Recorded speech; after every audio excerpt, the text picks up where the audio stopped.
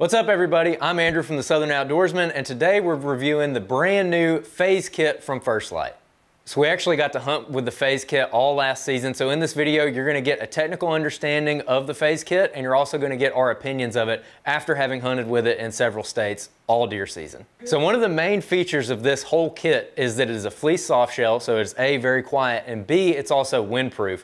We got to test this out last year, specifically in Arkansas. We were up in Arkansas doing a hunt uh, via boat. We were hunting whitetails, and we were actually running in this kit on our boat about 35 miles an hour before daylight, after dark, every day, going in and out of our spots. And this soft shell kept the wind off of us. It was actually very comfortable pairing up the bibs and the jacket. We were able to stay pretty toasty on our way to the stand. Uh, another feature is, again, with it being a fleece, it's so quiet that you can bow hunt in this. There's absolutely no sound. Before First Lite had their Catalyst line, which was their soft shell jacket before this, this replaces the Catalyst line, and this is quieter than the Catalyst. If you're familiar with that system, this is actually more quiet than that. As far as temperature ranges go, it's going to be different for everybody. Uh, I'm from Alabama. I primarily hunt in the southeast. So for our temperature ranges, this is a really, really versatile piece. I start wearing it whenever the temperatures get down into the 50s. And really throughout most of our deer season, our highs kind of hover around in the 50s. And then when we get cold fronts, we'll get further down into the 30s. For probably 90% of hunts, I was able to wear this jacket. On the warmer hunts, I'm walking in with something like this. This is the Yuma base layer. Uh, and then when I get to the stand, I'll put the phase on over the top of this. When, I, when it gets a little bit colder, I still might be walking in with something like this, maybe down into the 40s or the 30s, and then just add an extra layer over my base layer and then put the jacket on top of that. So this is my phase jacket. This is the same one that I wore all last deer season, and I wanted to show it to you guys to compare it to this brand new phase system. Uh, again, the camo didn't really fade. I hunted with it in the rain, washed it a bunch of times. Also, I took it through a lot of briar thickets here in the deep south. Didn't rip a hole in it. There's no pulls on it or anything like that anywhere. And I also wanted to show you what it looks like actually on me with my layering system. Again, I have that uh, Yuma base layer on as my base layer, and then I've got this furnace hoodie on second, and then I've got the phase jacket on third. This is gonna get me through most hunts here in Alabama, unless we have a really bad cold front where it gets a little bit colder. Uh, this is pretty much what I'm wearing 90% of the season. And I wanted to show it to you guys also because this system is very thin uh, from the side. You know, it's not a lot of clothes that I have on, but this keeps me very, very warm. And it's very easy to shoulder a rifle or draw a bow in this system. So overall, my opinion of this piece is it's super versatile. It's probably my favorite piece of gear that I own from First Lite. Like I said, the temperature range that I hunt with this is gonna be from the 50s down to the 30s. Uh, so for me, again, coming from a Southerner's perspective, that's going to get me through most of our season. If you're a Southern guy, this is going to be probably the most versatile piece of clothing that you can buy, and I would highly recommend this. Uh, if you're in the Midwest, you might need some bigger jackets to get through that middle part of the season. If you're more of a Midwest hunter, or if you hunt further north, this is going to be more of your early to mid-season jacket, as opposed to, again, us down here in the South, this is going to get you through most of your deer season. All right, guys, this is Jacob Myers from the Southern Outdoorsmen. I'm really excited to give you my personal take on the new phase jacket and bibs from First Lite. Again, like Andrew mentioned earlier, this is something we wore all last season, and I found it to be an extremely versatile piece, and again, really functional, especially for someone that not only hunts the Southeast, but will also go hunt other states outside the Southeast, and the functionality of how this piece can really flow for your setup right now. I want to work from the top to the bottom, going over some of the features I find the most important from this jacket and bib setup, again, the phase, and then kind of show you how I actually use this and how some of these features were really valuable for me this past fall hunting in, again, a few different states. So from the top, you have a very sleek hood design that also is removable, has a zipper system on the back so you can remove the hood. I do that sometimes because I only like to use the hood when it's the absolute most windiest condition because I want to be able to hear as much as I can. But again, the hood works extremely well blocking that wind and light rain, again, in those situations when you're hunting in those conditions. Next, as we go down the jacket, you have the two breast pockets on the top of the jacket that are zippered. Again, it's an easy place to put a phone in, or if you have a bino harness on, you can still get your phone to your pockets. But also, again, if you're a saddle hunter, you can put your hands up in those pockets if you want some place to rest your hand, keep your hands warm without actually go through the kit link system that maybe your bridge may block. As we go lower down the jacket, you have the two large, what I call the belly pockets on this jacket, which is next to your kit link system. These are very large pockets. You can actually put you know, a pair of gloves in, you can put your phone in. Again, it's another place to be able to store a few items on you that you may need in a split second when you're up in the stand. But also, The big feature about this jacket that I really love is the new magnetic kit link system. In the past, this kit link system had been a zippered system, and especially in colder conditions, when you get your hands in there, the zippers would actually grab onto the sleeves and pull your sleeves up so you had more of your hand exposed or your gloves exposed when you were in your bibs. Now with the new magnetic kit link system, you're able to get in here and there's no resistance on your wrists once you get into your bibs. That's a really big deal for me for more comfortability and also staying warmer longer when you're in the field.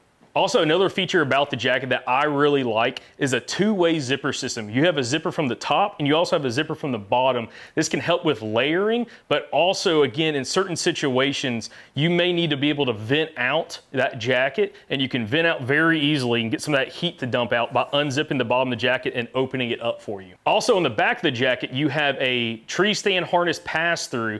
So again, you can have your safety harness underneath this jacket if you're using a tree stand and again, not have all the bulk of that strap coming out the top of the hood. Again, a feature First Lite's had now in their whitetail line for a few years. Since the phase jacket and bibs are replacing the catalyst system from First Lite, one big upgrade they made was the new cuff links, the gusseted cuffs on these jackets to really snug it down to kind of seal in a lot more of your heat. And also, if you're in some light rain conditions and so that water's running off you, again, be able to keep your upper arms dry by sealing that off around the cuff. So for the phase jacket, I wore it an absolute ton last season. I wore the bibs a lot too, but the jacket to me was extremely functional from roughly about 55 degrees, especially on those, those days when it's in the mid 50s on an afternoon hunt and you have a pretty good breeze going. It really cuts that wind down really nicely. And then the bibs, I'd start wearing the bibs when it got down into the 40s, all the way down to the coldest I wore this system down was 28 degrees. Now I'm built a little bit different from Andrew, but again, I found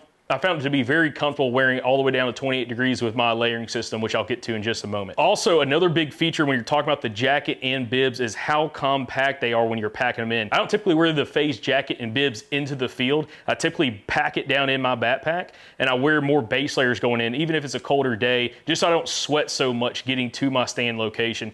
And these jack the jacket and the bibs compress really nicely down your backpack to not take up a ton of room, but still add plenty of warmth once you get to the stand. The new fleece face fabric that First Lite's using on both the phase jacket and the bibs are huge for being more quiet when you're in the field.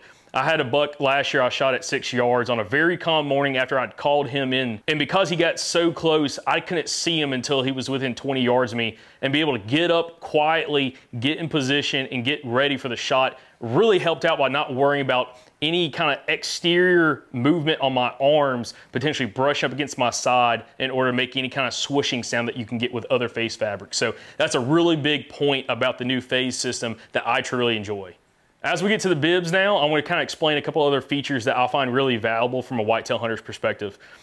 Of course, with the First Lite bibs, these phase bibs, you're gonna have the muff pocket here, your chest pocket for your hands, which works with the kit link system to be able to get to that from the outside of your jacket. You also have a chest pocket here. Sometimes in certain situations, I'll drop my phone in there if I'm not wearing the jacket, especially if I'm leaving the tree stand. If I don't have it in another place, it works really well for that. And also putting your keys here, again, keeping them in a place that you're not gonna lose them, but again, it also keeps them quiet with that face fabric, with the being the fleece. As we're looking down at the thighs on the phase bibs, you have on each leg a large cargo pocket that is very streamlined. It's not a baggy pocket. It's very, very streamlined with the system. And the one interesting thing, of course, you have magnetic closure on the top of the pockets on both legs that you can get down to your pocket, but you also have a side zip access point on the inside of your thighs to be able to get to those pockets. With the cargo pockets, again, being streamlined, I really do like that inside zipper access point to be able to get to the pockets. It's a lot easier to get to your pockets that way when you're in a tree stand or if you're in a saddle. Also, another feature you've come to love about First Lite when it comes to their bibs is the full side zip. This makes it much easier to get your bibs off and on, especially if you have boots on, because again, that side zip, two-way zipper, one on the top, one on the bottom, allows you to get in and out of your bibs very easily, even with boots on.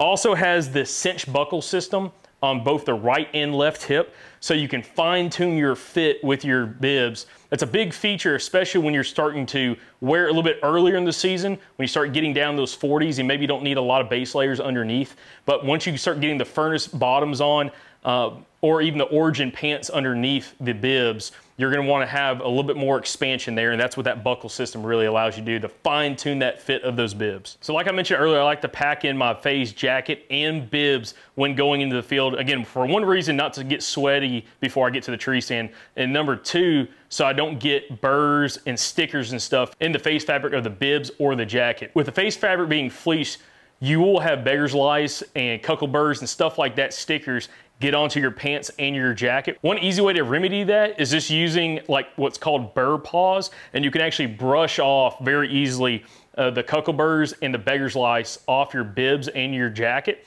to keep it nice and clean and again not have them just bound up on you. You can actually look in the show notes below of the video and we'll have that link down there for you to check out. So my overall impressions after hunting with this phase jacket and bib kit last year all season, it's extremely versatile. Again, for me personally, wearing it from about 55 degrees with the jacket and then start implementing the bibs around the upper 40s, all the way down to 28 degrees was the coldest I hunted in last year. It worked extremely well.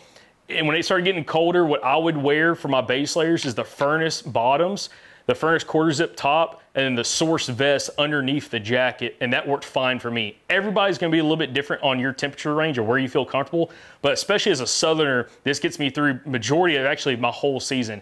As you'll see in a future review, as we talk about the core system that just launched, I wore that jacket a few times last year to try it out, but really this got me through our whole season last year of hunting Georgia, Alabama, and Arkansas. So it works extremely well for us down here in the South. And again, if you're in the Midwest, this is something that will work really well for you throughout November and probably even early December. If you'd like to check out the Phase jacket and bibs, you can click the link down in the video description below. Well, guys, if you like this video, make sure you subscribe to the channel and check out the Southern Outdoorsmen podcast. You can watch it on YouTube or on all audio major platforms. So thank y'all for watching. We'll catch you back here for the next gear review or podcast from the Southern Outdoorsmen.